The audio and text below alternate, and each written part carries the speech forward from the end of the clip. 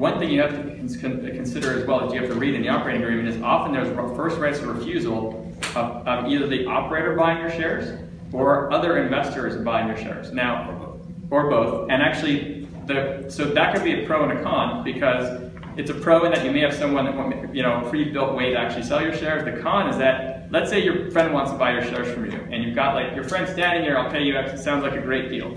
Sometimes there's a first right refusal for the operator for like 90, could be up to 90 days to buy your shares. So they have 90 days to say no.